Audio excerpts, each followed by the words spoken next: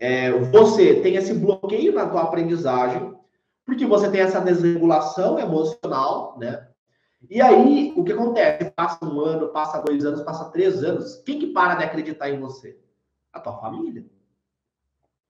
E aí eu quero fazer uma, um exercício, uma reflexão aqui com vocês.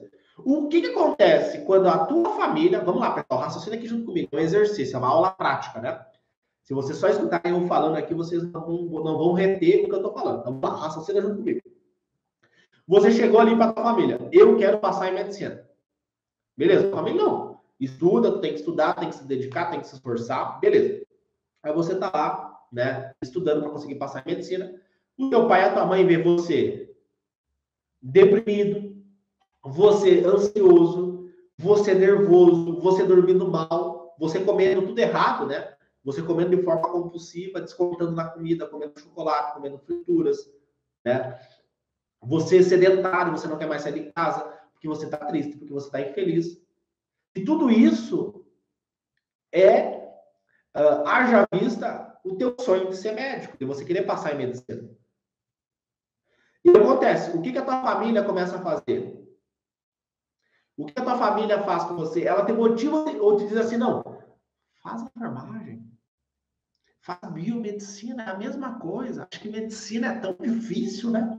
Vai demorar tantos anos, você já está ficando velho e você está deprimido, você está ansioso, né? Chega teu pai, tua mãe, tua tia, teu primo, o teu amigo e começa a falar isso para você. Pô, é, acho que não desiste desse sonho, né? Já, já tá no terceiro ano, segundo ano tentando, e você tá tão ansioso, tão nervoso, né? E aí você, e aí o que acontece? Você, você não tem aquela, aquele software, né? Aquele aplicativo mental que tá rodando lá no teu inconsciente, você já não confia mais em você, porque você tá sentando para estudar e você não tá rendendo, então você não bate no peito, não, eu vou passar, esse é o meu ano.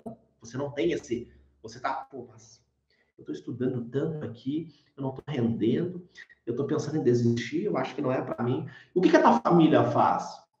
Tua família vai te motivar ou vai te desmotivar? Comenta aqui para mim, pessoal. O que, que a tua família vai fazer com você? Ela vai te motivar ou não vai te motivar? Vendo todo esse cenário aqui de ansiedade, dormindo mal, deprimido, ansioso. Tem muita gente que vai para o psiquiatra quando eu faço aqui lives e a galera entra para conversar comigo, né? Que é a opção da pessoa entrar aqui junto comigo na live. Quando eu faço isso, assim, tem muita gente que fala, pô, eu acabei tomando remédio, eu tive que ir para psiquiatra. Acontece muito isso por causa do cursinho, por causa do método tradicional, né?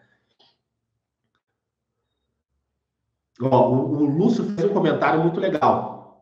Ele expressou muito bem, ó, negação, desistência, desmotivação com pequenos gestos, com grande frequência. Olha que, que, que legal o comentário do Lúcio. Muito obrigado, Lúcio. É, ele, ele fez um comentário assim muito bacana, porque é exatamente isso que acontece. Então, através de pequenos gestos, né, às vezes não é verbalizado, nós, nós temos, é, lembra da, da, do português, né? Cai bastante isso no Enem nós temos uma comunicação verbal e uma comunicação não verbal.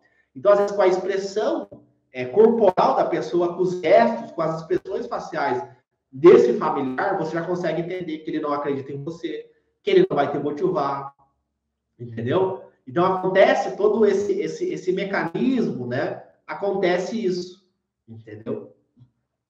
Então, você precisa é, entender sobre, sobre essa questão porque a tua família, ela vai ver toda essa questão, porque você está estudando através de cursinhos, através de videoaulas, e isso não funciona, né? É uma péssima, uma péssima estratégia de estudo, segundo a neurociência, né? É importante enfatizar isso na opinião minha, né?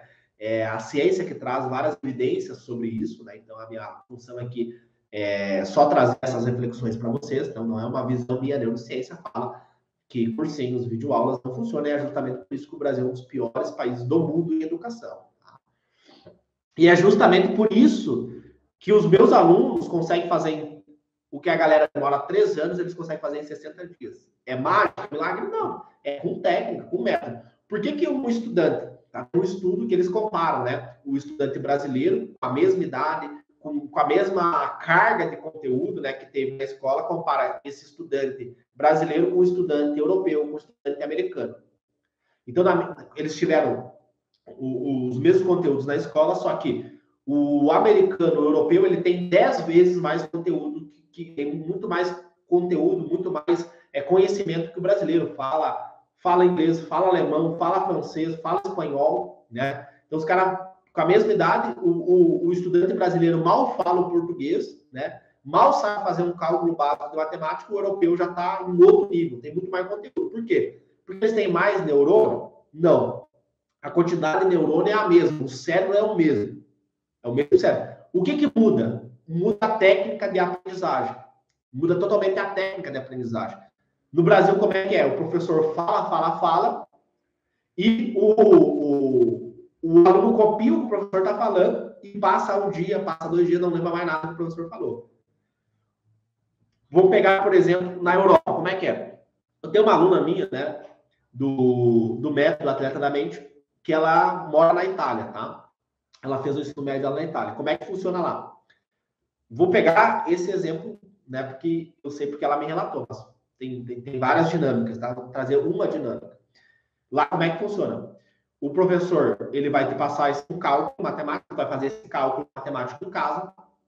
Aí, no outro dia, chega na aula, o professor vai perguntar, como é que tu fez esse cálculo matemático? Me conta, qual foi o teu raciocínio? Entenderam a diferença?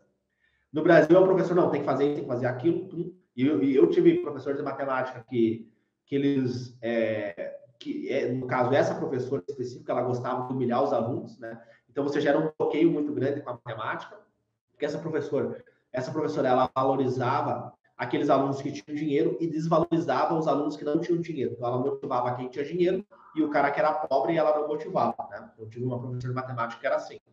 Então, acontece, essa professora de matemática, ela humilhava os alunos. Então, acabou que eu tive um bloqueio com a matemática. Eu nunca gostei muito da matemática por causa dela. Depois, quando eu comecei a aplicar essas essas técnicas de aprendizagem acelerada que é usada nas grandes escolas de medicina dos Estados Unidos, eu comecei a aprender matemática, comecei a aprender física, comecei a aprender química, comecei a aprender a escrever, eu não sabia escrever, eu era um analfabeto funcional.